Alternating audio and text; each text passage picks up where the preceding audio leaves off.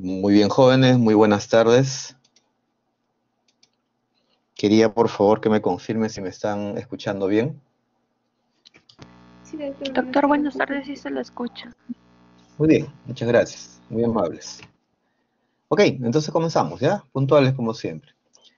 esta es la semana de patología de las enfermedades nutricionales, entendiendo como tales a los dos espectros que existen, la desnutrición por exceso y la desnutrición por defecto. Ah, la palabra desnutrición viene de disnutrición. Dis significa alteración. Por lo tanto, desnutrición sería alteración en la nutrición. Y esta ocurre, como le decía, por exceso, lo cual es la obesidad, o por defecto, que es lo que siempre se mencionó, se le dijo a las personas eh, desnutridas, por las que eran muy delgadas, muy, muy flaquitas. Sin embargo, eh, tan desnutrido es la persona delgada o la persona obesa. En ambos, eh, en ambos casos, la situación no es agradable y es, es, una enfermedad que acarrea una serie de consecuencias muchas de ellas mortales. Así que vamos a tratar de conocer un poquito más de esto, ¿ya? Esos son los nombres con los que se, le encuentran los libros a estas enfermedades. Y observen que hay dos enfermedades tipo. Una es el marasmo y otra es el kwashiorkor que si bien es cierto son eh, enfermedades bien definidas, con, una serie de características muy bien este, establecidas, eh, no son ni de lejos las mayores causas de, desnutrición por defecto.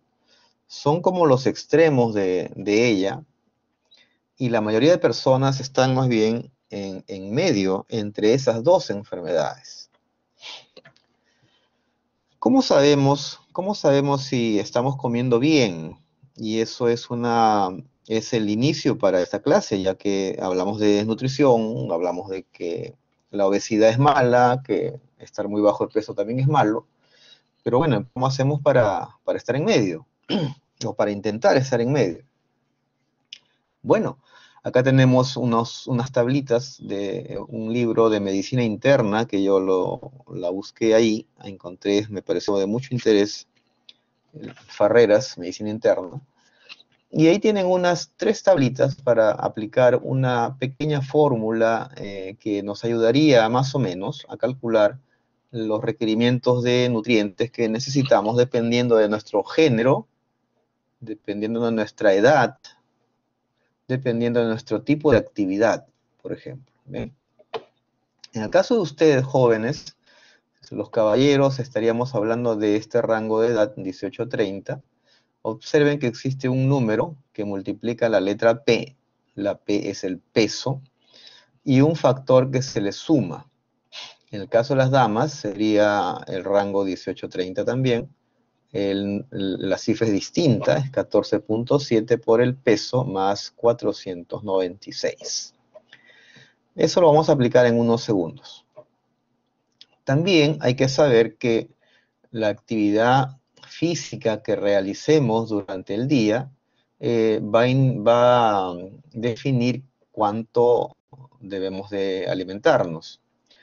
Miren, una actividad ligera da un factor de 1,55 para varones y de 1,56 para mujeres, una actividad moderada de 1,78 y 1,64 respectivamente, y una intensa de 2,1 y, ah, y 1,82 para las damas.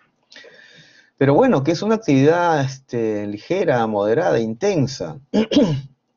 pues eh, déjeme decirle que nosotros, ustedes y yo, eh, debemos estar aquí.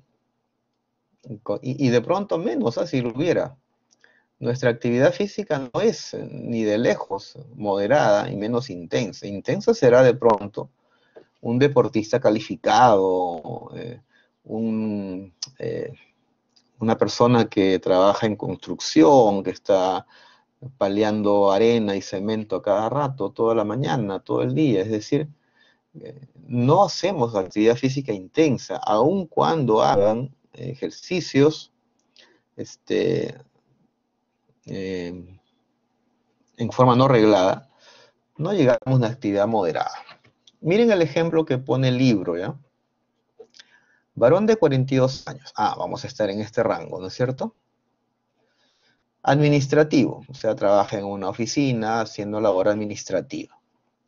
Con dos horas de, que hace dos horas semanales de deporte, la clásica pichanguita del sábado, ¿no? De los sábados. Fulvito y después fulvazo, ¿no? Ya, y luego pesa 70 kilos. Eh, yo peso 70 kilos y mide 1,76, es más alto que yo, yo mido 1,74 nada más. Y como ustedes saben, más o menos yo soy medio flaco, ¿no? Entonces, eh, para una persona con estas características, eh, miren lo que calcula. Acá, 11.6 por P, 11.6 por 70. P es el peso. Y le suman 879, ahí está el 879, y sale 1691 kilocalorías. Pero eh, se dan cuenta, ah, bueno, es un administrativo. Miren lo que dice, aplicación de factor de actividad. Ligera, 1,55. Multiplican el anterior por el factor y tienen 2.621 kilocalorías por día. Eso es lo que uno debe de, eso es lo que esta persona debiera de ingerir en todas las comidas del día, sumando todas. No es que ese es para el desayuno nada más o para el almuerzo, no, ese es sumando todas. Hay gente que, hay personas que comen, ah, se alimentan tres veces al día, hay gente que lo hace cinco veces al día o cuatro veces al día, algunos dos veces al día. La idea es que durante todo el día ese sería el total, ¿ya? Y, ahí a veces eh, entramos a, cosas que ocurren, ¿no? Si ustedes se van a un, restaurante, por ejemplo, y se piden un plato bastante común y corriente, ¿no? El clásico bistec a lo pobre. Primero que el pobre no tiene nada. Primero que cuesta un montón de plata. Segundo, que el, bistec eh, se sale del plato. ¿Qué más tiene el arroz con e, ese plato? Tiene arroz. Tiene papas fritas. ¿Qué más tiene? ¿Se acuerdan? huevos fritos. ¿Qué más? Plátanos fritos. Diablos. Ese, ese plato solito, fácil, tiene 2.621 kilocalorías. Fácil. Tal vez hasta más. Yo que soy medio fanático de la, comida de mi tierra, una carapulca con sopa seca, es una comida que es pura harina, hay que reconocerlo. No tengo la culpa de no nací en Chinche, me gusta. Y, yo, como cuando voy, pero no como todos los días. Este, un plato de carapulca con sopa seca, fácil, tiene más de 2.621 kilocalorías por día. Entonces, este, si a eso le suman el desayunito que se metieron, y el almuercito con la sopita y la entradita que algunos le, le empujan, y después le suman la cenita y el postrecito para bajarla, oh, están, están ingiriendo fácil 4.000, 4.500 kilocalorías por día. Y después se preguntan, ay, ¿por qué estoy engordando, no? Ah, es que tengo el metabolismo muy lento. No, tienes la boca muy rápida, que es diferente. Así que este, yo las entiendo cuando las personas dicen, sí, pero es que tan rica que es la comida. Sí, es rica, pues, pero no todo lo rico se come todos los días. ¿eh? Eh, eh, trae problemas. ¿ya? Hay que saber decir no de vez en cuando. Entonces, miren lo que dice la tablita, hay que la distribución calórica aconsejada en este paciente, en esta persona, perdón, dice, suponiendo que de, todo lo, que necesita, el 58% tiene que ser de provenir de los hidratos de carbono, el 30% de las grasas y el 12% de proteínas. 12%, fíjense, qué poquito de proteínas, ¿ah? suficiente, 12%. Dicen, haciendo las, equivalencias eh, respectivas, que de harinas esta persona debería comer, este varón de 42 años, de 70 kilos y 1,76, debería comer 377 gramos de harinas en todo el día. Y si se comen un heladito nomás de esos que venden por todos sitios, ese helado tiene fácil 200, 300 eh, gramos de, de, ¿cómo se llama? de carbohidratos. De grasas, 87 gramos y de proteínas debería comer solamente 78 gramos. 78 gramos es la quinta parte o la cuarta o la sexta parte de ese bistezazo que se, se acaban de comer algunos. Entonces, eh, muchas veces estamos ganando peso sencillamente porque estamos comiendo de más y no estamos haciendo nada de ejercicio. Porque al final, ustedes saben, es una, una balanza de cuánto gasto y cuánto ingresa. Y si gasto poco, porque no me muevo mucho, e ingresa mucho, porque ahí sí soy bien ágil para comer, bueno, pues no, no esperen tener un peso adecuado, ¿no? Y no es el metabolismo ni la tiroides, no, no, es el chicharronoides que se acaban de comer, ¿no? Entonces ya saben cómo comer, ¿ya? Poquito. Y es suficiente para ustedes. Así que ustedes, ustedes deberían hacer su tablita, ¿ya? Ustedes, jóvenes. Para ustedes trabajarán con este factor, para las chicas trabajarán con este factor. Eh, todos se hacen la actividad ligera, hacen las multiplicaciones y sacan cuánto tienen que este, comer, que es menos que esto. Ojo, que ya saben. Bien, ahora sí, sabiendo más o menos cómo debemos alimentarnos, vamos a hablar de la desnutrición por defecto, la de exceso y la han visto en su, en su seminario, perdón, que algunos ya lo hicieron y otros están por hacerlo, pero ya, eso es del seminario, tema de seminario. Observen que esta malnutrición tiene causas primarias y secundarias. Las primarias, en general, son aquellas en las cuales el alimento no, no, no existe alimento que comer. Es decir, ahí clásicamente es la, la pobreza, un nivel socioeconómico muy bajo, el libro dice que se debe a gobiernos incompetentes, lo cual estoy completamente de acuerdo porque este país en el que vivimos es un país rico, sino que hay unas artes sinvergüenzas que se lo están llevando en peso. ¿Hay un mal manejo ambiental? A veces sí, seguramente que sí, puesto que muchos de los eh, terrenos que se usaban para mm, eh, cultivar alimentos ahora se, se han usado para otras cosas. Malas políticas de salud, seguramente, seguramente puesto que también existe un programa de eh, apoyo a la persona con desnutrición. El ministerio, es decir, ustedes y yo, porque de los impuestos que pagamos este, sale todo eso, da alimentos a las personas en desnutrición, en pobreza extrema. Pero muchas veces esos alimentos terminan en los bolsillos y en las ollas de las personas que eh, incorrectas. Desgraciadamente a veces en manos de los que debieran darlo. Increíble. Personal de salud o administrativos. Y bueno, hay que ser consciente también que si yo no tengo recursos suficientes para mantenerme a mí, pues tener hijos es un crimen, ¿no? Eh, si no puedo mantener un hijo y tengo cinco, también lo es. Es condenar a los niños, a los hijos, a un sufrimiento de por vida, ¿no? Hay que tener un poco de conciencia en eso, ¿no? Tengan los hijos que puedan tener, mantener y mantenerlos bien. Entonces, primarias cuando no hay alimento.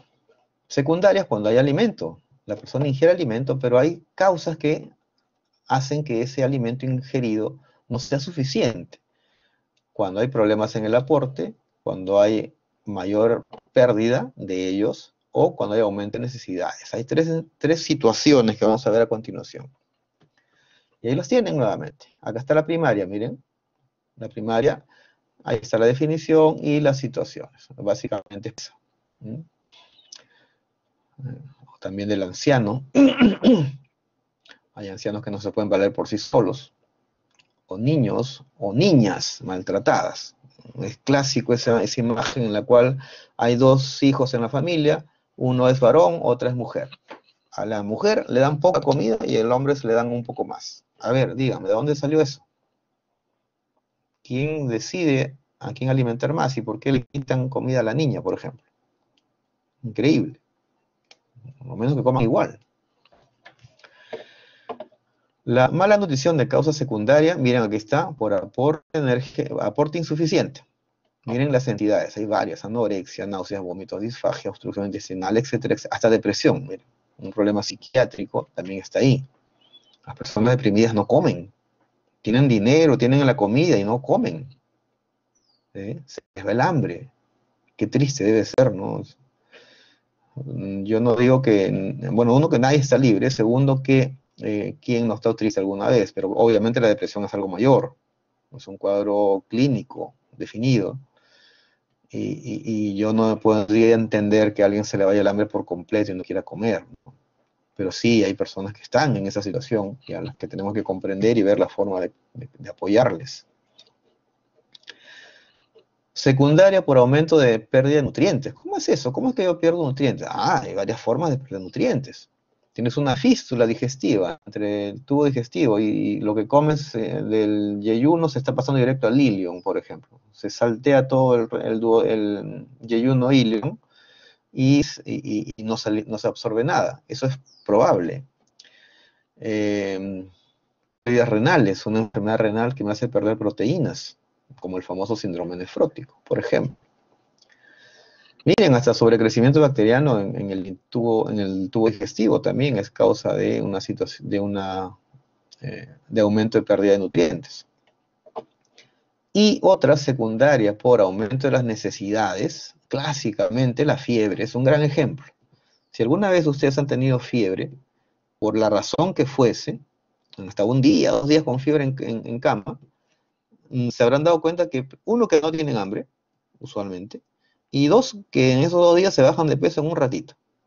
Y es que eh, cuando el, cuerpo sube el termostato, la temperatura, la sube ah, porque necesita hacerlo, em, acelera todas las funciones metabólicas. Por lo tanto, hay más, más consumo de energía y, y las toma de las reservas, de las reservas que tenemos una baja de peso volando. En un ratito. Por favor, las tablas que les dejo no son para que las pasen, son para que las estudien y las analicen. No se sorprendan que ven alguna preguntilla de por acá, ¿ya? Esta de acá también es para que la, entiendan, sin embargo vamos a irla desmenuzando en los siguientes slides, ¿ya? Así que eh, los más importantes, por supuesto, si no, no terminamos nunca. Miren que entre las dos enfermedades tipo existe toda una serie de características, algunas completamente opuestas, otras parecidas, en relación a varios criterios que son, están aquí a la izquierda. ¿ya? Vamos a ver los, más importantes. Las definiciones primero, Kwashiorkor se define como el severo déficit de proteínas. Miren que hace mucho hincapié dice, con ingesta calórica suficiente, ok, pero lo que falta son proteínas. Las proteínas en general son alimentos más caros cuando uno los quiere comprar. E, es mucho más caro comprar carne que, comprar, este, no sé, eh, arroz, menestras, Y el marasmo es, en cambio, es la ausencia completa de, o sea, total de, alimentos. Eh, le llaman inanición deben saber esa palabra, significa está muerto de hambre, entre comillas, literalmente. Pero miren la última línea, que es la más importante en mi modesta opinión. La mayoría de personas, de pacientes con desnutrición por defecto, tienen un síndrome o una enfermedad intermedia. O sea, no es ni kwashiorkor ni es marasmo. Está en medio. Y esos son los que eh, vamos a ver. ¿ya? Kwashiorkor, marasmo se ven mucho en África. Acá en Perú también algunos, pero la mayoría son personas como ustedes o como yo con algún grado de desnutrición. Empecemos con marasmo. Tiene un sinónimo, una palabra que también significa lo mismo y es consunción. Ya ustedes van a empezar a, llevar sus cursos de medicina, de clínicas, no sé cómo les llaman, a ir a los hospitales, a ver signos y síntomas. Y uno de los síndromes conocidos es, se llama síndrome consuntivo viene justamente de esta palabra. O sea, la persona que está extremadamente delgada, síndrome consuntivo. Viene de consunción en relación a marasmo, que significan lo mismo aquí. El, cuadro clínico es más frecuente en lactantes y niños, obviamente, y miren lo que va a presentar. Primero, no dejan de crecer, dejan de crecer. los niños, ustedes pasaron por esa etapa, yo también, los niños crecen todos los días, todos los días, tan, tanto, tanto así que una parte importante de su control se llama control de crecimiento y desarrollo, y es una tabla, ustedes van a verla después, en la cual eh, la tabla siempre es ascendente, el niño siempre debe estar, debe estar creciendo. tan importante es esto que si se detiene el crecimiento es grave. Es un signo grave de que algo está yendo mal en ese niño o niña. Así que un niño debe crecer todo el tiempo. Ustedes ya no, ya no son niños, yo tampoco. Ya, viene la época en que nos vamos a empezar a encoger más bien todos. ¿Qué más? El tejido graso subcutáneo comienza a perderse. Bueno, eso es obvio. Y se pone más delgado, más flaco. El músculo se atrofia. Vamos a ver láminas de esto, o ya vieron láminas de esto. Y si se pierde la grasita, nos, sobra piel, ¿no? Y tenemos una piel colgante. Bueno, los niñitos, no, yo ya no. La cara se nos arruga, se les arruga a estos niñitos, parecen viejitos.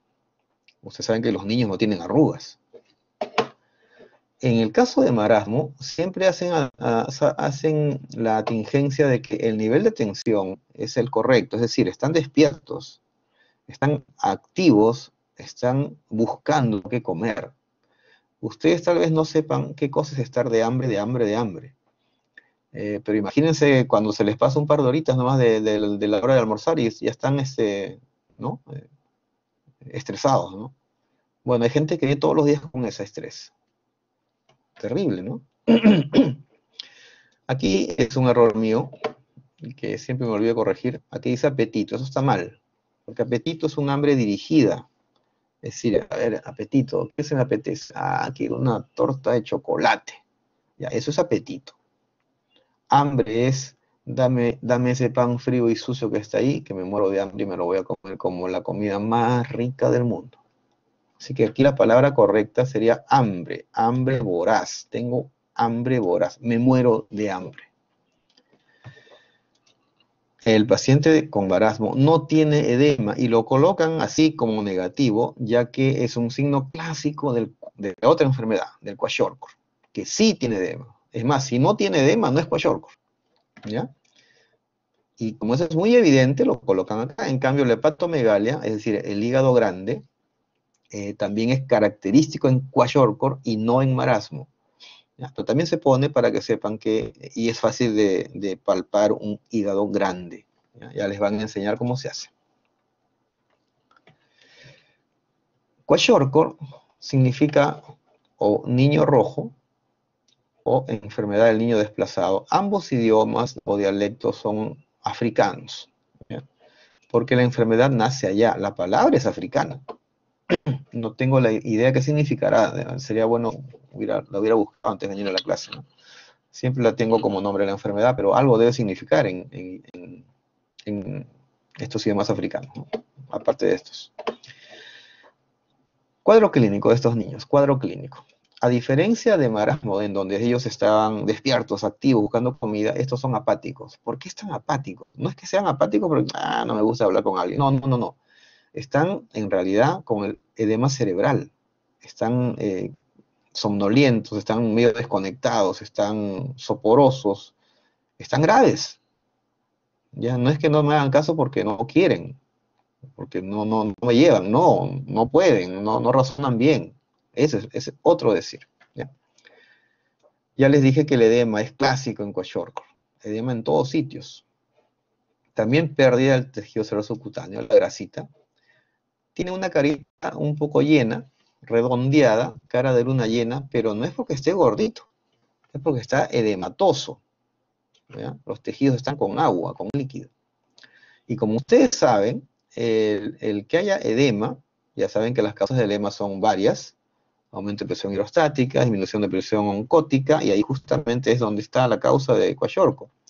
¿Por qué disminuye la presión oncótica? Porque hay menos albúmina, hay menos proteínas eso eh, disminuye la presión oncótica y ya no se retiene el líquido en los vasos y se sale del vaso el líquido hacia afuera. Y pues tenemos edema, cara de luna llena también. Clásicamente, Kwashiorkor tiene hígado grande, hepatomegalia, que es una transformación grasa en los, en los hepatocitos. ¿Ya? van a ver eso en su laboratorio de esta semana. Los niños suelen tener su cabello más delgadito, medio rojo, y se cae, y se pierde volumen. Por eso es que le decían niño rojo, ¿no? Porque tiene el cabello rojizo. Ojo que estamos hablando de, África. Y en África, pues el cabello rojo no es precisamente común, ¿no? Es cabello negro, igual que acá en nosotros. La piel de estos niños se descama, por eso se dice que tienen una dermatosis descamativa. Los ojos se lucen grandes y hundidos. ¿Qué ocurre con el ojo? ¿Por qué se hunde? Pues recuerden anatomía, recuerden que el ojo está dentro de una fosa orbitaria que se llama, que se llama fosa orbitaria, pero es una, anatómicamente es como una pirámide horizontal, en horizontal. Y la mitad posterior, la que está detrás del ojo, está siempre llena de, grasa, de grasita. ¿Se acuerdan cuando disecaron esos ojos en anatomía? Detrás del ojo está lleno de grasita y esa grasa se pierde y por eso el ojo se va más, más atrás, por eso dicen ojos hundidos. El abdomen está prominente, como ven aquí, porque el paciente tiene de líquido en la cavidad peritoneal. Eso se llama asitis. Ya es por la misma causa que el edema, ¿no? Y por supuesto tiene los bracitos y las piernitas delgadas, se le ven los huesitos, ¿no? Como dicen acá, huesito y pellejo, ¿no? Pobrecito, ¿no? Dan pena estos niños. En Kwashiorkor hay una serie de cambios morfológicos que son fáciles de ver en, imágenes, en patología. Aquí tenemos 2, 4, 6, 7. Y lo vamos a ver uno por uno, ¿ya? Para que este, les quede un poco más, un poco mejor. La primera, el primer cambio la metamorfosis grasa a gota grande. Eh, lo de gota grande, olvídense, lo que me interesa es que se recuerden que se llama metamorfosis grasa. También le llaman esteatosis hepática. La palabra esteato significa grasa. ¿Qué, ¿Qué ocurre? En los hepatocitos, aquí tienen uno, acá tienen otro, empiezan a aparecer pequeñas vacuolas. No sé si logran ver aquí en la punta del puntero. Pequeñas vacuolas, vesículas llenas de grasa esas vesículas de grasa van uniéndose, van fusionándose, van creciendo hasta formar una vesícula única grande que ocupa todo el citoplasma del hepatocito y hace que el núcleo se vaya a un costado. Cuando uno lo mira así de lejos en el microscopio, uno piensa, cree que está viendo adipocitos, o sea, células adiposas.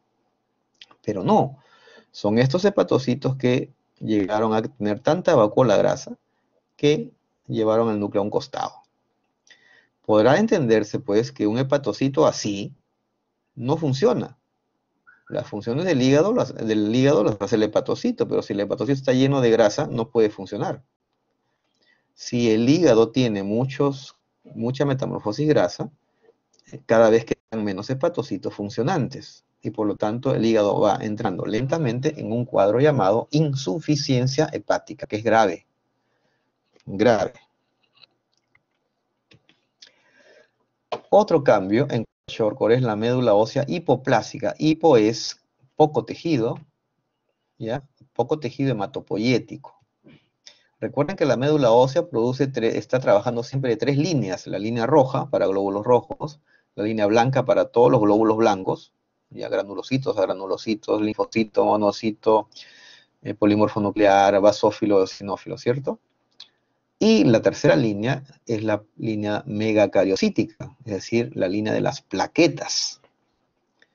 Entonces, si yo tengo una medulosa que no está trabajando bien ninguna de esas líneas, por el lado de la línea roja tendré que tengo anemia. El paciente tendrá anemia, es decir, pocos glóbulos rojos. Y por lo tanto no hay quien lleve oxígeno a los tejidos y por lo tanto se cansará fácilmente, se agitará, tendrá palpitaciones, etcétera, etcétera. Por la disminución de la línea blanca, o linfocitos, el paciente tendrá pues tendencia a infectarse y a enfermarse de cualquier germen que se acerque.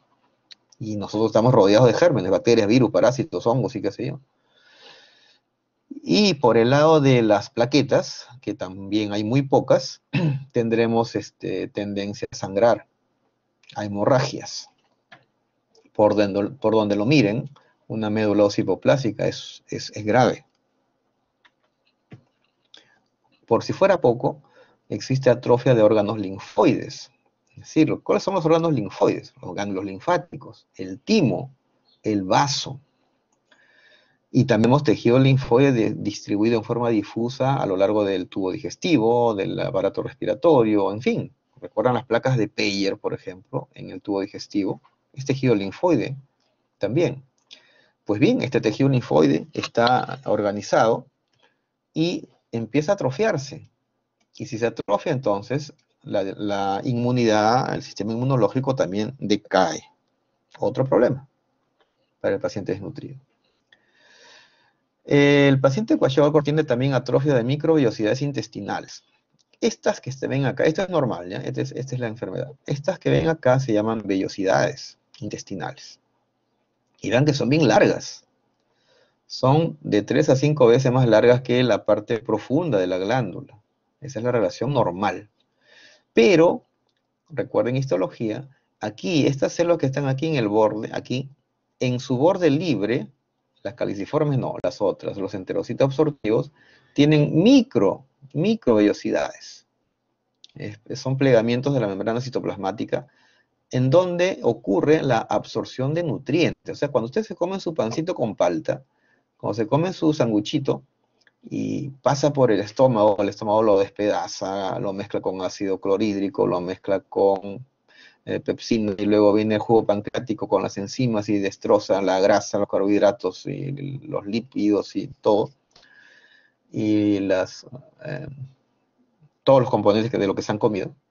Al final llega al intestino delgado y aquí empieza la absorción, en esas células, en esas microvellosidades. En el paciente Kwashiorkor, la vellosidad, ojo, la vellosidad primero, no solo se encoge, sino que la microvellosidad se pierde. El resultado final es algo parecido a esto, donde habían 1, 2, 3, 4, 5 vellosidades como estas, ahora hay una sola. Eso se llama fusión de vellosidades. Se unieron. Es como si ustedes miran su manito, ah, abran sus dedos, luego ahora júntenlos y así. Dedos juntos es como si se hubieran unido sus cinco dedos en uno solo. Y si eran largos, como hasta acá, y ahora están mucho más abajo, eso se llama acortamiento. Teniendo sus dedos juntos, doblen los dedos y eso es lo que pasa. Las vellosidades se acortan, se fusionan y las microvellosidades se pierden. ¿El resultado cuál es? Que lo poco que coma el paciente Kwashiorkor no tiene por dónde absorberse o se absorbe muy mal. Ojo que aquí, en esta zona de vellosidades acortadas y fusionadas, la superficie de intercambio es solamente esta. ¿No es cierto? En cambio acá, ¿cuál era? Todo esto. 1, 2, 3, 4, 5, 6, 7, etc. ¿Me dejo entender? Cuando se fusiona y se acorta, se pierde superficie de intercambio, de absorción. De absorción. Todavía, además de que está mal, el páncreas de estos pacientitos comienza a fibrosarse. Esta es la histología del páncreas. Acá está el conducto conductos pancreáticos que drenan a estos acinos pancreáticos. Acá también acinos con su conducto. Pero aquí hay un espacio ocupado por fibrosis. La fibrosis eh, quita tejido pancreático propiamente dicho y bloquea la salida de estos conductos con las sustancias producidas, causando la presencia de estas, de, estas eh, áreas quísticas fibrosis en medio y quitando tejido pancreático productor de enzimas. En otras palabras, si además uno come y no hay jugo pancreático, menos aún se absorben los nutrientes.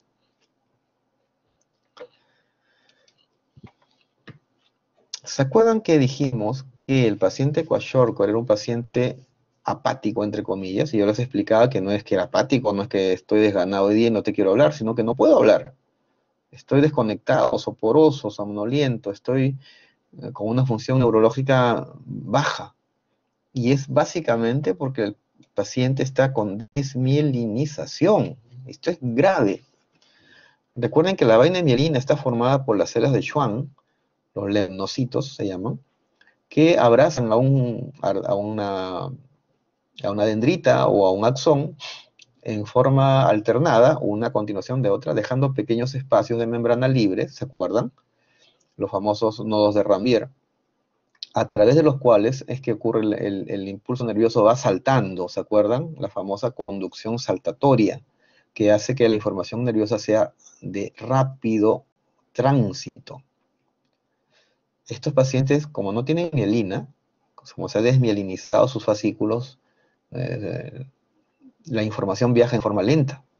Entonces, pues, ustedes les hablan y no les responden porque primero que ni le escucharon bien y segundo que la, la respuesta tampoco llega. Qué feo, ¿no? Que quieren responder y no puedan. Que escuchen y no puedan interpretarlo. Es grave, es triste también. Kwashiorkor también tiene fusión de podocitos. ¿Qué es eso? Vamos a ver el famoso esquemita de los glomérulos renales. Acá en esta mitad es normal, esta es la, parte enferma. Miremos. El esquema dice, este es el espacio urinario, entonces estas son las células de la cápsula de Bowman. Estos son los famosos eh, podocitos que descansan sobre esta estructura en azul que es la membrana basal glomerular Hacia adentro de ella están las células endoteliales, por lo tanto, este es un capilar glomerular, glomérulo renal. Esto de acá está entre un vaso y otro, está en medio de vasos, de ahí el nombre de mesangio, mes en medio, angio, vaso, mesangio en medio de vasos. Y estas son las famosas células mesangiales, y esto sería la matriz mesangial. Eso le han enseñado en histología. Entonces, los podocitos tienen patitas, miren, piecitos. 1, 2, 3, 4. 1, 2, 3, 4. 1, 2, 3, 4. Y estos piecitos desaparecen. Miren acá. Está el podocito, sí, en verde está. Pero sus patitas, sus pedicelos, no están. Porque se han pegado, el podocito se ha pegado a la membrana en toda su longitud. O sea, se pierden los pedicelos y ocurre la fusión de los podocitos. Se pegan ahí. Ese detalle que es eh, que solo se ve al microscopio electrónico, ni siquiera se ve al microscopio que usamos nosotros, ese detalle histológico permite que se fuguen las proteínas de la sangre del vaso. Así que este paciente cuachorro, que ya de por sí tiene pocas proteínas, encima, la poca que tiene la sigue perdiendo porque sus podocitos se han fusionado. siempre, siempre mal, ¿no? Hasta ahí, jóvenes, la primera mitad de la clase. ¿ya? En relación a desnutrición por defecto, hemos revisado las dos enfermedades tipo y eh, tenemos eh, eh, el seminario como desnutrición por exceso. Y la segunda mitad de esta clase tiene que ver con las vitaminas, que estoy seguro que ustedes las han estudiado ya en algún curso más, tal vez bioquímica, de pronto en fisiología también, y que es una parte un poco más divertida, pero que también traducción nutricional, puesto que eh, podemos tener hipovitaminosis e incluso enfermedades causadas por estas hipo o hipervitaminosis. Bien, entremos a la segunda mitad. Ustedes saben que existen dos tipos de vitaminas, las que, se, las que tienen solubilidad en grasa o las que tienen solubilidad en líquidos. ¿ya? Las famosas liposolubles o hidrosolubles. Ahí tenemos el cuadro clásico. Las liposolubles son la A, la D, la E y la K. Fácil, ADEC queda como quieran. La mnemotecnia, la que ustedes quieran usar, vale. Pueden formar las palabras que quieran. Yo usualmente formo palabras lo más divertidas posibles incluso a veces un poco eh, dirty, un poco sucios, un poco, este, ¿no? Que son las frases que más se quedan, ¿no? Al final yo no las menciono, las pienso solamente, y me sirve de mnemotecnia para recordar las cosas que no, no son fáciles de recordar. Eso lo saben ustedes también. Acá tenemos la vitamina, tenemos más o menos en qué, para qué sirve y qué trae su falta, ¿ya? Su falta. Por ejemplo, miren, la vitamina A dice que son componer los pigmentos visuales, que funciona y ayuda a los epitelios y que ayuda a la infección. Cuando falta, tenemos ceguera nocturna, se seca el ojo o será propiamente dicha. En los epitelios puede aparecer un, cambio llamado metaplasia escamosa y uno empieza a tener, ser susceptible a infecciones. La vitamina D, miren, facilita la absorción de calcio y fósforo. Siempre va calcio y fósforo juntos. Por si acaso. Y también que se mineralice el hueso. ¿No? Es bueno para crecer, por ejemplo. Y eh, cuando falten los niños se llama raquitismo y cuando falten nosotros se llama osteomalacia. Es la misma enfermedad, pero eh, se caracteriza por debilidad ósea, pero afectando estructuras histológicas diferentes que veremos luego.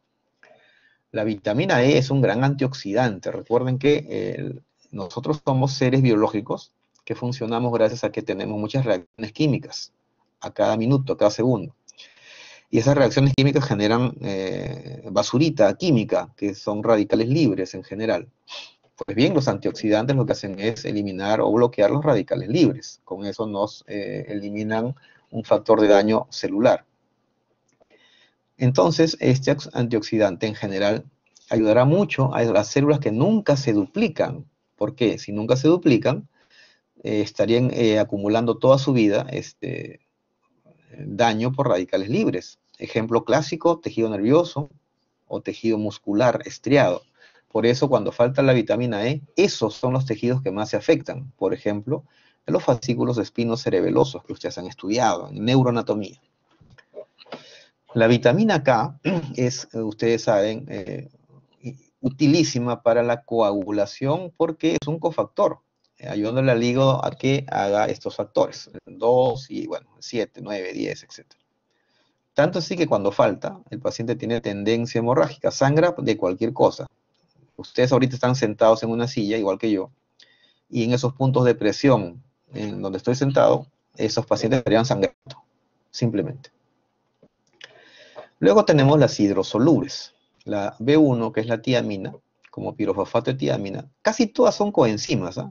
¿Qué es una coenzima? Una coenzima es, a ver, ¿qué es una enzima en primer lugar? Una enzima es una proteína, ¿se acuerdan? Que cataliza una reacción biológica, acelerándola o retardándola, pero sin tomar parte en ella, es decir, este, no se involucra, no cambia después de la reacción, se queda como enzima, es inmodificable. Pero una coenzima es una sustancia que ayuda a que esa reacción se realice mejor. La gran mayoría de vitaminas son coenzimas. Cuando falta la vitamina B1 tenemos una enfermedad llamada beriberi, nombre raro, ¿no? O el famoso síndrome de Wernicke-Korsakoff, que veremos más adelante. La B2, eh, recuerden que la, B es un complejo B de varias vitaminas B, hay B1, B2, B6, B12, B3. La vitamina B2 es la riboflavina. También es como una coenzima y cuando falta, miren, tenemos inflamación de los labios, keilo es labio, inflamación de la boca, inflamación de la lengua, guloso es lengua, inflamación de la piel, etc. La niacina también participa en estas reacciones como coenzima y cuando falta da origen a una enfermedad muy característica que se llama, es la pelagra y que le llamaron siempre históricamente la enfermedad de las tres letras D, demencia, dermatitis, diarrea. La vitamina B6, que es la piridoxina, ustedes la van a manejar algún día en, su práctica diaria, porque en emergencia se usa. La piridoxina es un excelente metaboliz, eh, ¿cómo diría? Eh, metaboliza rápidamente el alcohol. Así que las personas que llegan ebrias, intoxicadas con alcohol, le ponen piridoxina tiene sus dosis y, su vía, etc. Y en un muy corto tiempo, minutos u horas, un par de horas, ya está sanito. O sea, esa borrachera que te dura 24 horas, esa resaca, resaqueada se te va en, minutos. ¿no? Y eso es importante a veces. También parecido a lo que da la vitamina B2. La vitamina B12, la cobalamina, se requiere para la formación, miren, de la sangre, de los glóbulos rojos. Tanto así que cuando falta, tenemos la famosa anemia megaloblástica o médula ósea megaloblástica, que ustedes van a ver en su laboratorio esta semana. La vitamina C yo siempre digo que es la más rica de todas porque, porque es rica, pues. ¿A quién no le gusta limonada, naranjada, no? Lo acidito, ¿no? Qué rico, ¿no? Bueno, pues es una gran vitamina, es otro excelente antioxidante. Y la enfermedad clásica, cuando falta, se llama escorbuto. Y aquí hay un gran error. Todo el mundo piensa que escorbuto es una lesión en las encías, en la boca y nada más. No, escorbuto es una enfermedad sistémica, afecta a todo el cuerpo. Lo veremos más adelante. Ácido fólico, también. Es importantísimo para la síntesis de ADN y la duplicación celular. Y también, miren, en la anemia megaloblástica, cuando falta, también ayuda a que exista anemia megaloblástica. O sea, cuando uno da tratamiento para anemia megaloblástica, suele dar vitamina B12 con ácido fólico. Pero se puso de moda hace un tiempo porque demostraron que prevenía los defectos del tubo neural, la espina bífida o la anencefalia, que veremos más adelante. El ácido pantoténico, parecido, por encima también. Miren acá no, no identifican un síndrome por su carencia. Y la biotina también, acá dice que no existe un síndrome, aun cuando también se menciona que hay dermatitis descamativas por falta de biotina. Que por cierto la llamó vitamina H. Las vitaminas también pueden faltar, carencias. Y la causa primaria es que no hay vitaminas, igualito y la secundaria es cuando eh, se relaciona a otras enfermedades.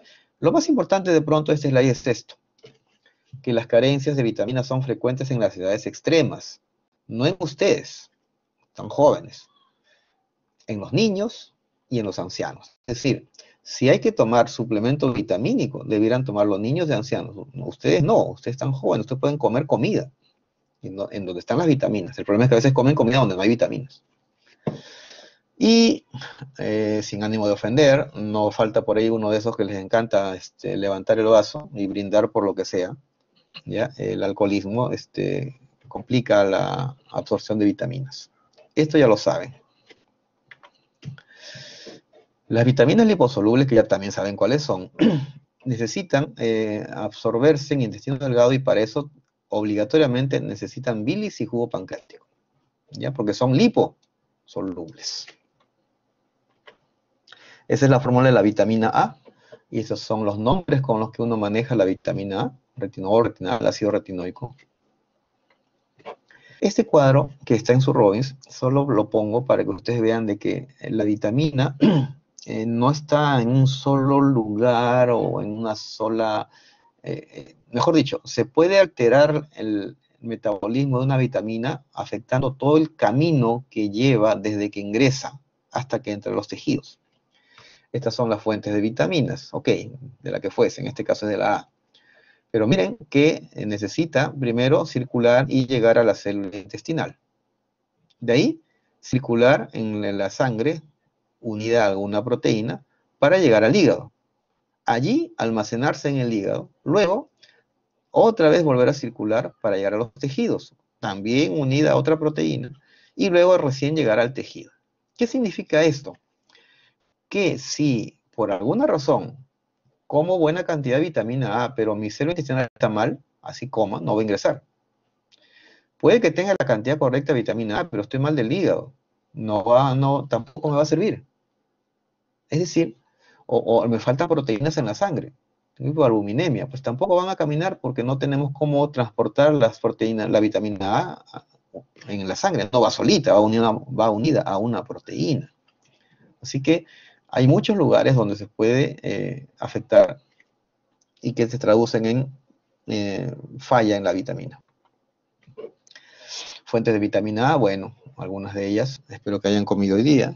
Las frutas son geniales.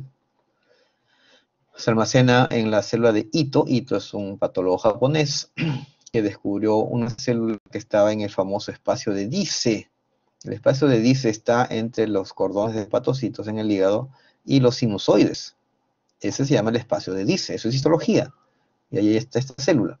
y esta célula no se sabía para qué servía. Y luego demostraron que tenía unas vesículas ahí que eran vitamina A. Ah, genial, qué bueno, ¿no? Y, les voy diciendo de pasadita lo que veremos en el próximo semestre, cuando haga patología especial.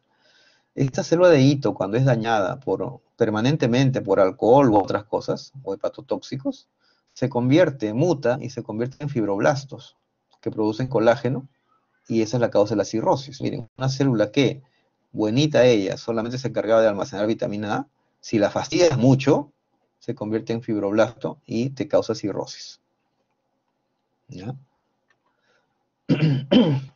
¿Existen hipervitaminosis A? Sí, existe.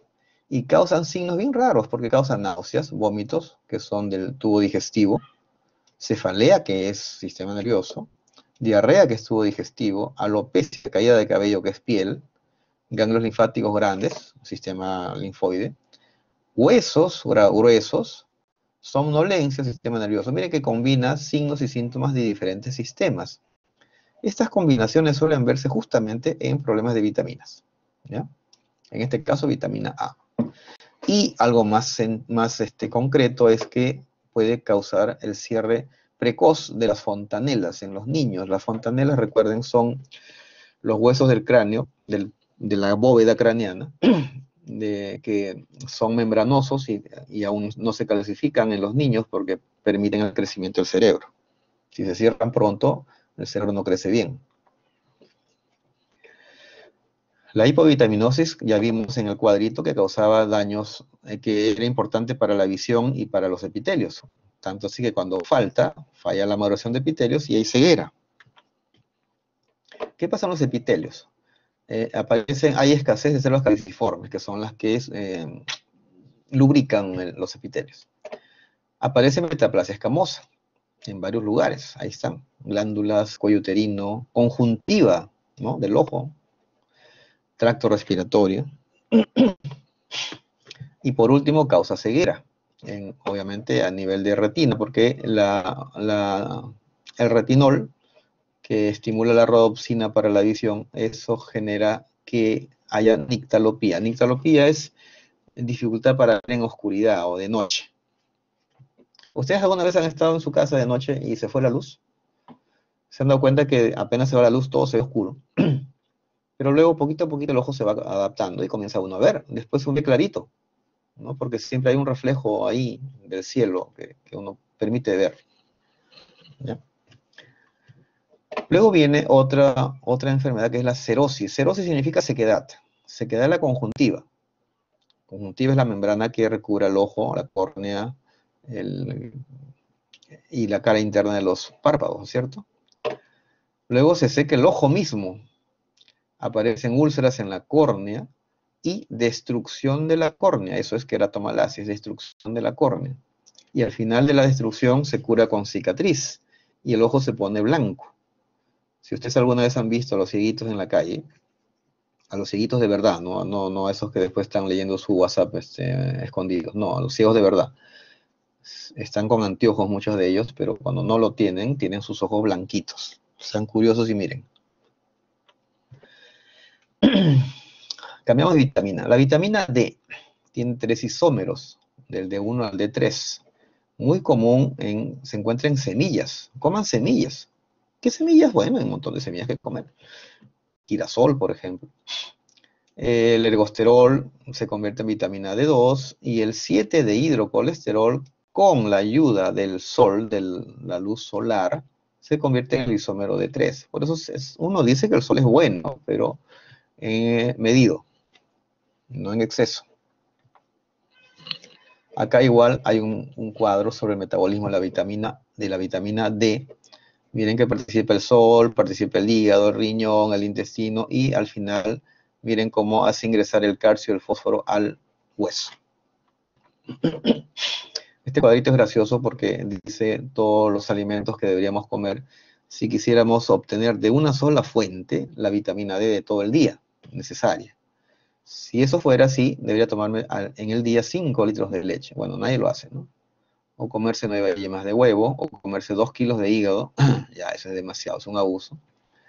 O comerse mariscos, 10 kilos. ¿Quién se come 10 kilos de mariscos? O comerse un cuarto de kilo de mantequilla, ¿no? Terrible, ¿no? Como una diarrea de esas, esas épicas. Obviamente uno come un, vasito, toma un vasito de leche con un paco de mantequilla y un pescadito en el almuerzo. De ahí van saliendo la, suma del aporte de vitamina D y el calcio les dije que va en, contacto, siempre va en pareja con la vitamina D. Casi siempre clásicamente están los lácteos, pero ¿saben qué? En los vegetales de hojas verdes también hay calcio. De hojas verdes, uno no, no, no, no recuerda que ahí pudiera haber calcio. Ahí hay. Bueno, cuando hay un problema en deficiencia, entonces acá la flecha está al revés, miren, el calcio y el fósforo salen del hueso. ¿Ya? Y el hueso se pone osteoporótico, ¿no? ¿Hay hipervitaminosis D? Sí, y causa hipercalcemia, es decir, mucho calcio en sangre. Y aquí falta la segunda mitad, cuando el calcio va en, pareja con el fósforo, ¿se acuerdan? Entonces también habrá hiperfosimia. No lo he escrito, pero ustedes lo pueden deducir. Hipercalcemia, porque calcio y fósforo van iguales. Hay hipercalcemia, también hay hiperfosfatemia. Como hay mucho calcio en sangre, se deposita en cualquier órgano y eso causa calcificación que se le llama metastásica. Este nombre es muy malo porque es para metástasis de cáncer, pero bueno, lo usan ahí, yo no lo puedo cambiar. Está en los libros. Y la sangre, la sangre que tiene calcio se va a filtrar por los riñones, como toda la sangre, y causa calcificación del riñón, de los túbulos renales, y eso se llama nefrocalcinosis. Tiene sentido, ¿no? Todo va en, la misma línea. La hipovitaminosis D, en el cuadro también ya lo vimos, se traduce básicamente en desmineralización del hueso. Y eso cuando afecta a niños se llama raquitismo y cuando afecta a adultos se llama osteomalacia. En niños, recuerden que los niños siempre están creciendo, el problema está aquí, en el cartílago de crecimiento. Y también en las trabéculas óseas, que ya las van a estudiar en estos días. Pero si a mí me diera hipovitaminosis D, yo tendría un problema en el osteoide. Y mi enfermedad se llamaría osteomalacia. Malacia, por cierto, significa destrucción. Destrucción de hueso. Significa osteomalacia. Miren, no sé si se recuerdan ustedes cuando llevaron histología, esos, eh, esos esquemas, esas figuras de su libro de Di Fiori u otro. Este es el esquema de la osificación endocondral normal, bien bonita, bien organizadita. ¿Y qué pasa en estos pacientes que tienen déficit de vitamina D? Miren lo que pasa. Comparen una foto con la otra y se puede entender por qué hay eh, un hueso mal, mal formado.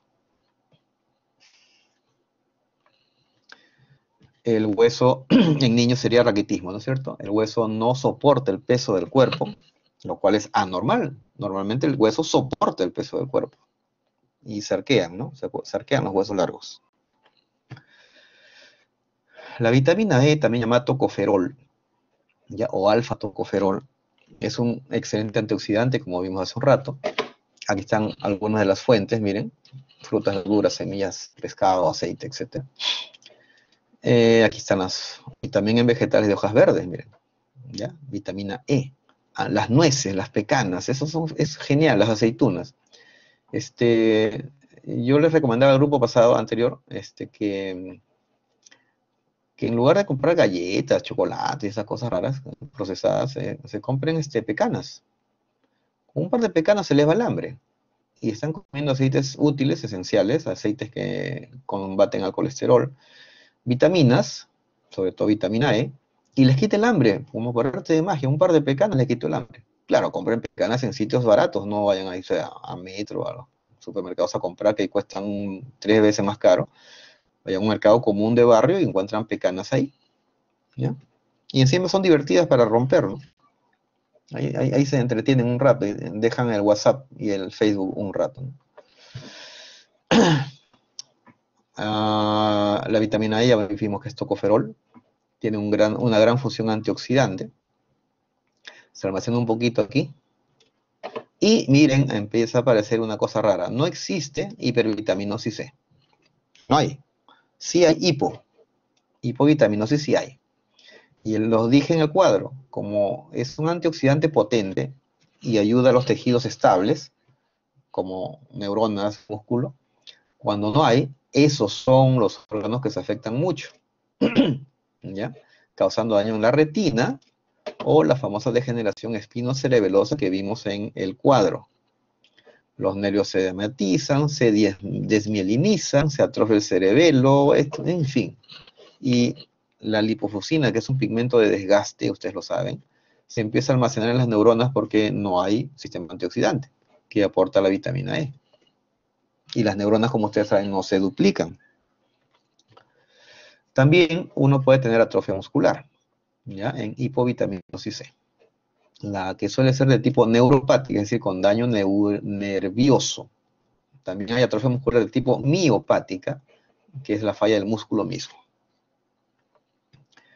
La vitamina K, para ver la última liposoluble, la fitonadiona o fitomenadiona,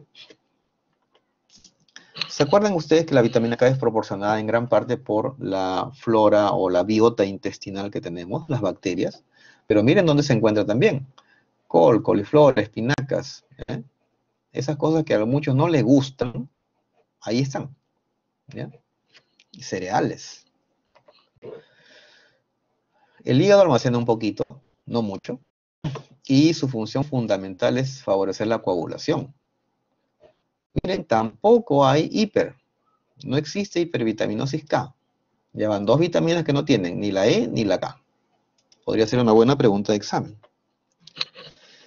Y cuando hipo sí hay, hipovitaminosis sí hay, K. Y es frecuente recién nacidos por la simple razón de que los recién nacidos no tienen biota intestinal. Nacen con su intestino estéril, no tiene bacterias.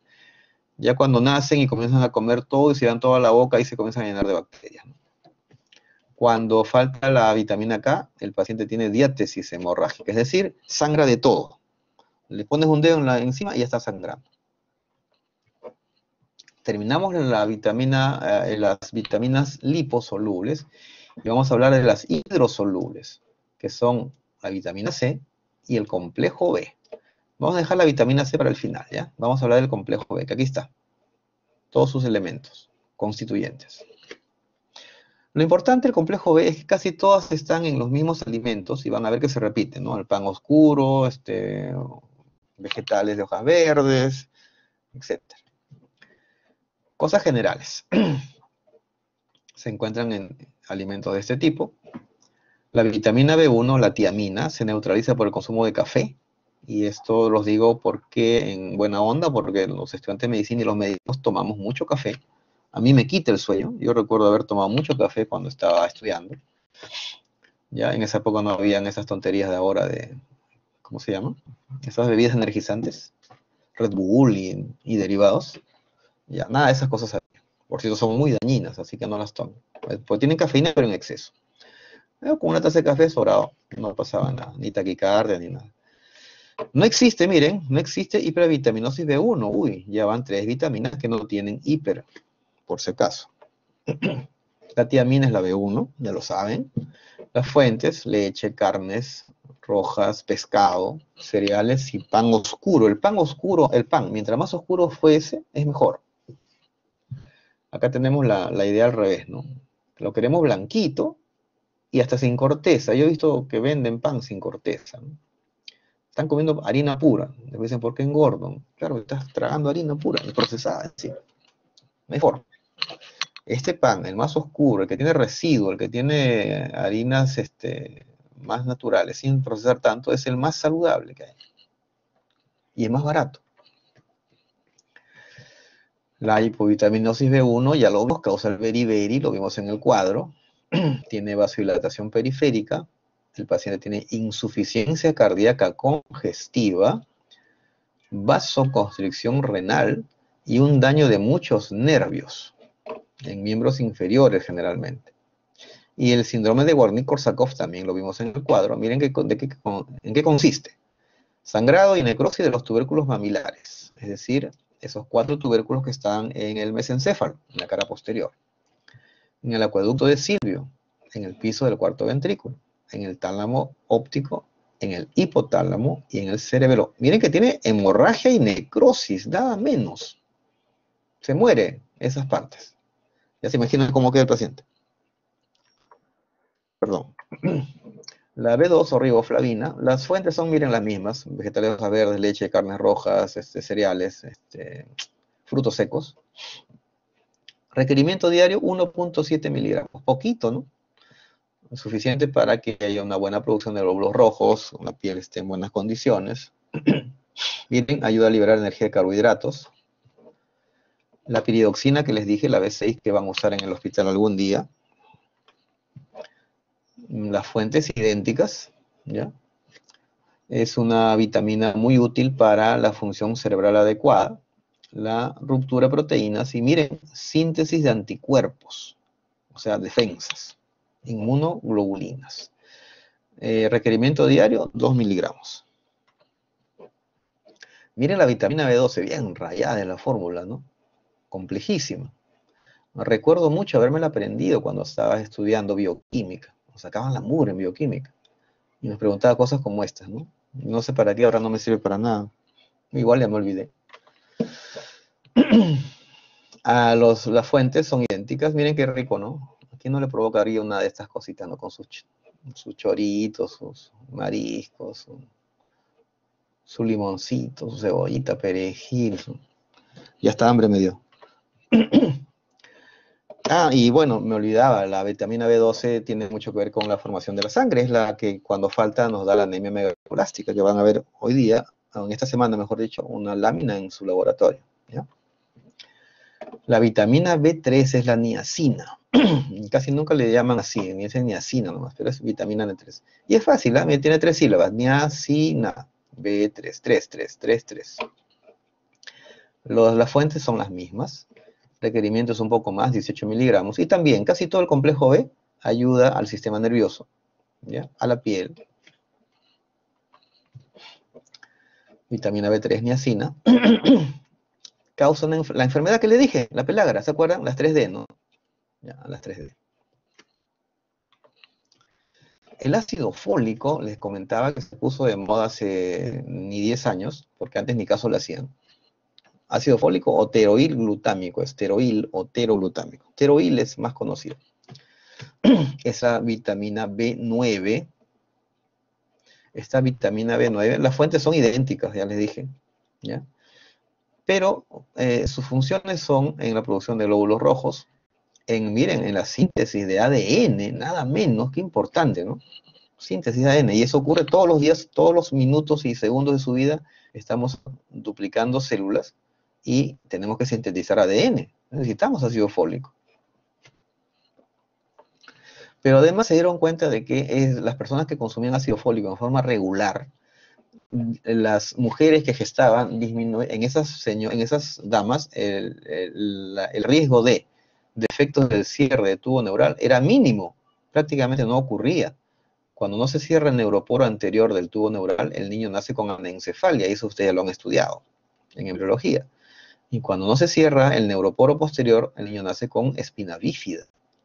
Entonces, pero el ácido fólico funciona en estos casos siempre y cuando la mujer esté tomando el ácido fólico seis meses antes de que quede embarazada. Repito, seis meses antes de que empiece el embarazo. O sea, no es que se fueron a la verbena y, pasó lo que pasó y toma ácido fólico mañana. No, seis meses antes de la verbena a tomar ácido fólico. Eso es broma, por si acaso. O broma digo lo de la verbena, lo de que sí es cierto es que hay que tomarlo por lo menos seis meses antes de que empiece el embarazo. Porque eso, yo siempre digo, los embarazos se programan, no a lo que, a lo que Dios quiera, pues Dios nunca quiere, ustedes son los que no se controlan.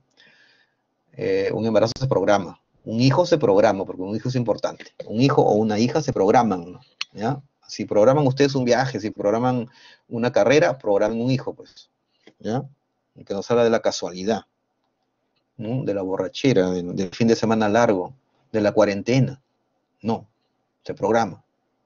En tal año, ustedes ahorita deberían decir, tengo mi carrera a los 22, 23 años, no sé. Ah, de ahí hago mis serums, un añito más, 24, 25, ya hago mi residencia, ya a los 29 tengo mi primer hijo, punto. Está programadísimo, o sea, está más programado que cualquier otra cosa. Así debería ser. La biotina o vitamina H, bueno, está en varias fuentes y causa una dermatosis descamativa, como les mencionaba, aunque en el cuadro dice que no tenía, no tenía una enfermedad tipo, pero sí en otros libros lo, encontré y está. El ácido pantoténico es la vitamina B5. Y miren, ¿cuántas sílabas tiene? Una, dos, tres, cuatro, cinco. Cinco. Facilito, ¿no? Y bien, Vamos a entrar a la vitamina más rica de todas, que es la vitamina C. Por lo menos para mí. Está en todos los cítricos. Mencionen cítricos. Uy, hay bastantes cítricos, ¿no? Cosas que son ácidas, ¿sabes? Limón, naranja, toronja, mandarina, eh, kiwi, eh, uvas. Ah, montón de cítricos. Vegetales, por favor, coman ensaladas frescas. Tomate, yo tenía un amigo en el colegio que eh, yo llevaba, me acuerdo, yo llevaba, mi, pancito, me preparaba en la casa para el desayuno cuando era niña, me acuerdo hasta ahora. pasito, sanguchito con arroz, ¿no? Y tenía un amigo que llevaba tomates, o sea, en su bolsillo, ¿no? un chiste, llevaba en su bolsillo un tomate, dos tomates. Y a la hora del, refrigerio los lavaba nomás y se los comía así, como morder una manzana, ¿no? Para mí era una cosa extraña, yo nunca lo había hecho. Y después me di cuenta que era bien rico, ¿no? O sea, o sea comerlo así, ¿no? Así, así a, lo, a lo natural, ¿no? A lo, ¿cómo se dice? A lo primitivo, ¿no? Tomatas. Eh, la vitamina C disminuye cuando uno fuma, ya les he dicho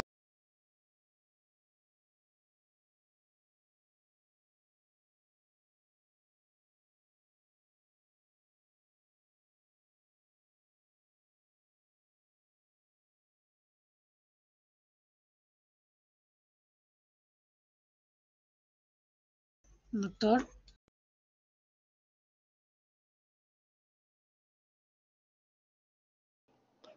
Ya estoy, estoy entrando otra vez.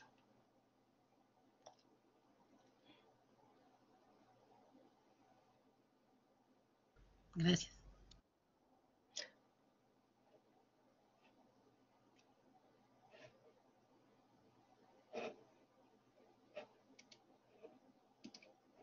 Aló, ¿me escuchan? ¿Ahora sí?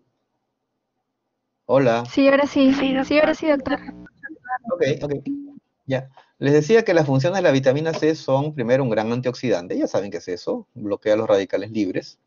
Y miren esto, esto es fabuloso. Síntesis de colágeno. El colágeno es una proteína producida por los fibroblastos, ¿no es cierto? Y el colágeno existen mm, por lo menos 14 tipos diferentes de colágeno. Algún día van a estudiarlos.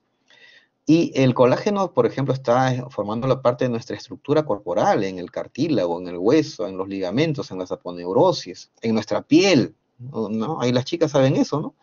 Después comienzan a inyectarse colágeno en, la cara, en no sé qué. El colágeno es, es, fundamental. Yo siempre les digo que si no hubiera habido colágeno, seguiríamos siendo amebas nosotros, ¿no? Reptando por el piso, arrastrándonos por el piso, porque no tendríamos una estructura fuerte para sostener nuestra estructura corporal. Así que agradezcan que tienen colágeno. El colágeno es genial, es de lo mejor que hay. Y la vitamina C ayuda a su síntesis. ¿eh? Si quieren tejidos firmes, no quieren ser gelatinosos, gelatinosas, vitamina C. Favorece la absorción de hierro. Eso es genial también porque cuando ustedes tengan pacientes anémicos y le van a dar suplementos de hierro, van a tener que decirle, señor, señora, tómelo con una limonadita, con algo ácido, porque les va a ayudar a absorberlo. Miren, ustedes que quieren aprobar todos los cursos, síntesis de neurotransmisores. Recuerden que los neurotransmisores son sustancias que conectan una neurona con otra, es decir, establecen circuitos neuronales. Y eso es fundamental para estudiar una carrera tan difícil como la que están estudiando. Así que, ¿quieren ser más inteligentes? Vitamina C. Pero natural, ¿ah? no esa vitamina C que venden en pastillitas y tonterías, sin gomitas y tonteras, nada. Vitamina C, agarra tu limón y Hablando de limón, mi amigo también agarraba y llevaba su limón. Llevaba un limón y con un clavo le hacía un hueco y se chupaba el limón directo. ¡Ah, eh, a mí se me arrugaba hasta, hasta los dientes, pero este, bueno, le gustaba. Pues. Mejora la función del sistema inmunológico. Por, las tres primeras este, funciones mencionadas, las cuatro primeras, deberían tomar vitamina C todos los días. Adorar a la vitamina C como, casi todas las, cosas grandes, es una vitamina, la C, es una vitamina muy humilde, miren su fórmula, es la más sencilla de todas. Yo me acuerdo que me la aprendía en bioquímica y eh, para mí este era un niñito, un niño gordito, que estaba haciendo volar una cometa. Era un niñito con su cometa y, lo llenaba de carbonos, hidrógenos y tenía la fórmula. ¿Han comido, han tomado hoy día algo de vitamina C? una mandarinita, un rocotito, algo de una fresa, una naranja, un limón, algo de uvas? ¿Cómo? ¿Hay hipervitaminosis C? Sí, y causa uricosuria, es decir, ácido úrico en orina en exceso. El pH puede bajar y eso se llama acidosis metabólica y llevar a la insuficiencia renal, severo, insuficiencia respiratoria también.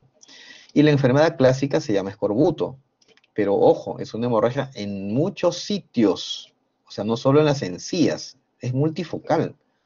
Hay fragilidad capilar en todos los vasos del cuerpo. Hay lesiones esqueléticas porque falta colágeno, ya se los dije hace un rato, y las heridas no cicatrizan bien. Miren, vitamina C. Eh, formación de colágeno este, fallada, ¿no? Eh, sangrado en las encías, sangrado en las articulaciones, sangrado en la piel, en todos sitios en realidad. Las heridas que no cierran y el, miren, no se sintetiza adecuadamente la matriz osteoide de los huesos. O sea, se debilitan los huesos. Sangrado en la piel, sangrado en la encía, sangrado en la piel, por todos sitios. Esas manchas. Finalmente, eh, estamos por terminar, eh, se ha visto la importancia de otros, otros elementos que le llaman oligo, porque son en pocas cantidades, como el zinc, hierro, yodo, cobre, flúor, selenio, para la buena salud de las personas. Yodo, todo el mundo sabe que es para la tiroides, ¿no es cierto? Eh, flúor para los dientes. El cobre es un componente de la citocromo oxidasa, que es una enzima muy interesante y que cuando falta haber debilidad muscular, problemas neurológicos, miren. El hierro para la anemia, ni hablar. El zinc, miren, ¿cuántas funciones le han encontrado? ¿Cuántas funciones y, cuántos signos por carencia? Hasta infertilidad, miren. ¿eh? Por eso si ustedes ahora abren, o bueno, ven un suplemento vitamínico, ya les dije, para niños o para ancianos, para ustedes no, están muy jóvenes para tomar suplemento vitamínico los modernos suplementos vitamínicos, aparte de vitaminas, tienen esto. Los oligoelementos. Esos son mejores.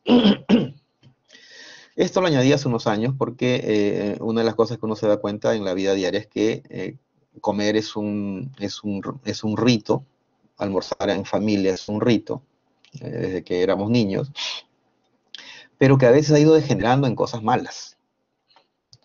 Por ejemplo, el tomar alcohol en exceso.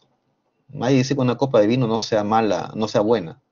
Seguramente sí. Una copita de vino, de buen vino, en su cena, en su almuerzo puede ser hasta, hasta recomendable.